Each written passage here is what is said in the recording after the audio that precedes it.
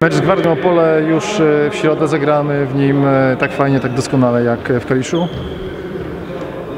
Chciałbym, żeby tak było. Mm, Myślę, że czeka nas bardzo trudny pojedynek. Zespół Opola w ostatnich meczach udowadnia, że jest e, drużyną, która potrafi zwyciężać i nie ma kontuzji, a e, my jedziemy do Opola bez e, Kamila Sadowskiego. E, Myślę, że